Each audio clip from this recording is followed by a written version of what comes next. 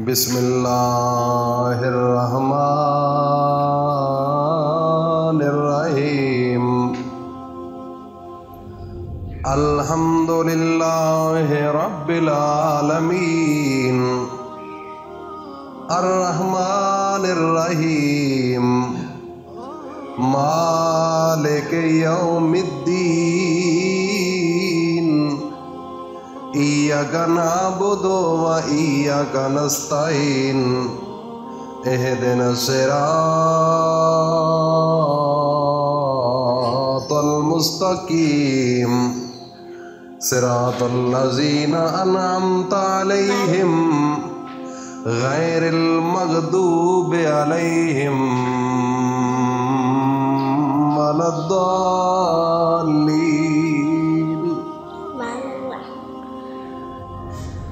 मुकर्रम जी, कदर हज़रत ख़वातीन। मेरी माओ बहनों, बेटियों, अस्सलाम वालेकुम वरहमतुल्लाहि वबरकातुहू। कुरान मजीद के अंदर सबसे प्यारी सूरत, सबसे अजीम शान मरतबे वाली सूरत और पूरे कुरान का सेहरा सूरत, पूरी कुरान की खूबसूरती सूरत वो है सूरत यासीन। मेरे नबी हज़रत मोहम्मद सल्लल्लाहु अलैहि वसल्लम फरमाते हैं कि सूरत यासीन पूरे कुरान का दिल है। जिस तरह इंसानी वजूद के अंदर अल्लाह ने एक दिल रखा है, जब दिल ठीक होता है तो पूरा वजूद खुश होता है। पूरा वजूद हशाश बशाश होता है। अगर दिल ख़राब हो जाए तो पूरा वजूद एक लपेट में आ जाता है बीमारी में। ना वो जिस्म में खुशी होती है, ना जिस्म में चुस्ती होती है, बेचैनी सी बनी रहती है। इसी तरीके से मेरे नबी फरमाते हैं कि पूरे कुरान का दिल सूरत यासीन है। तो जो इंसान सूरत यासीन को रोज़ाना पढ़ेगा सुबह के वक़्त, अल्लाह रब्बुल इज़्ज़त उस घर के अंदर इतनी रहमतें, बरकतें और सलामती नादल करता है कि कभी उस घर का नुकसान नहीं होता, घर के अंदर खुशहाली रहती है। और कोई एक्सीडेंटल प्रॉब्लम नहीं बनता।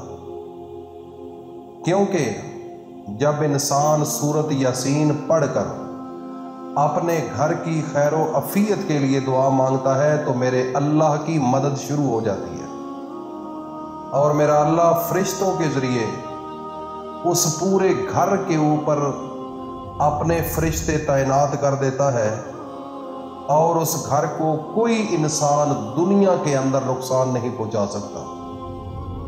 अगर कोई इंसान हालत नज़ा में है, मर रहा है, और उसकी जान हालत नज़ा की हालत में अड़ चुकी है, निकल नहीं रही, मुर्दा परेशान है, वो मुर्दा ही हो गया ना।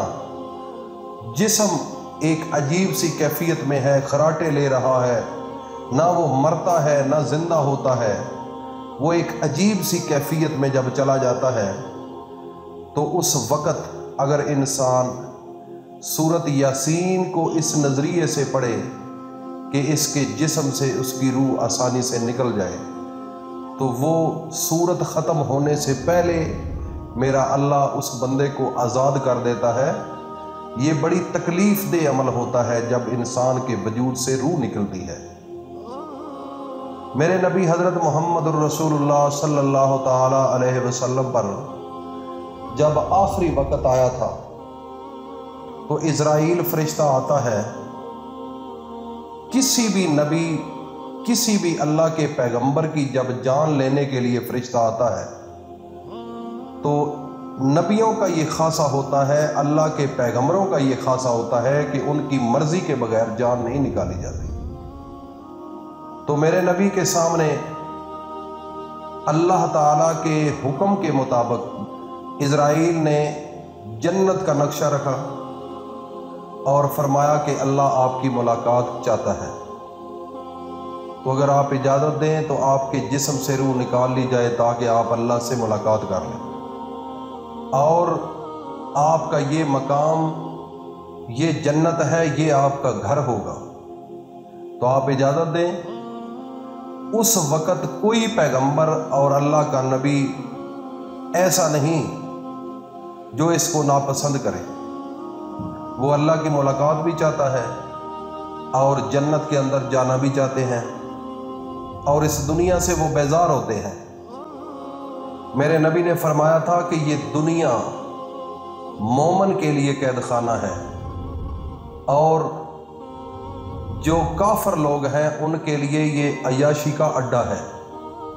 तो इसलिए नाजरीन, मुसलमान अक्सर इस दुनिया के अंदर अपने आप को एक पिंजरे में रखते हैं कि मुझसे कोई गलती ना हो जाए, कोई गुनाह ना हो जाए। तो जब इसराइल ने जान निकालनी शुरू कर दी, पाँव के नाखनों से शुरू होती है तो चलते चलते चलते जब सीने पर जान आई तो मेरे नबी ने फरमाया कि दर्द हो रही है। क्या इतनी तकलीफ़? क्या मेरी उम्मत की भी इसी तरह जान निकालेगा जैसे मेरी निकाल रहे हो? इसराइल कहने लगा, या रसूल अल्लाह आपकी तो बड़ी मैं आसानी के साथ जान ले रहा हूँ। इससे कई गुना ज़्यादा मुश्किल आपकी उम्मत की जान निकालूँगा। मेरे सोने नबी हज़रत मोहम्मद सल्लल्लाहु अलैहि वसल्लम ने फरमाया ए इज़राइल जो मरते वक्त दुख तूने मेरी उम्मत को देने हैं, आज मैं मोहम्मद के सीने पर दुख देना मरते वक्त कभी मेरी उम्मत को दुख ना देना। अल्लाह, ये है वफादार नबी खुदा की कसम। इसको वफा कहते हैं जिसको आज हम भूल चुके हैं। उस नबी ने फरमाया था कि ये सूरत यासीन कुरान का दिल है। और इस पूरे कुरान के अंदर सूरत यासीन कुरान का दिल है। और इस पूरी सूरत यासीन के अंदर एक आयत है सलाम कौलम मिर रहीम। ये सूरत यासीन का महवर एक मरकज है तो इसकी बहुत बड़ी ताकत है। नाजरीन, अव्वल व आखिर तीन मरतबा दरू शरीफ पढ़कर, रात को सोने से पहले सिर्फ़ तैतीस मरतबा इस आयत को पढ़ो। सिर्फ़ तीन दिन के अंदर मेरा रब अरश वाला वो सब कुछ आपको अता करेगा जो दिल में लेकर बैठे हुए हो। कोई भी हाजत है, रिश्ते के हवाले से, पैसे के हवाले से, सेहत के हवाले से कोई भी दुनिया के मामला है। नाजरीन, इस अमल को करो और अपनी ज़िंदगियों को आसानी की तरफ़ ले जाओ। कुरान से मोहब्बत करो, अल्लाह से मोहब्बत करो और अपने सोने नबी हज़रत मोहम्मद मुस्तफ़ा का अदब दिल में लेकर आओ। खुदा की कसम, सकून आ जाएगा। अल्लाह पाक अमल की तोफ़ी कदम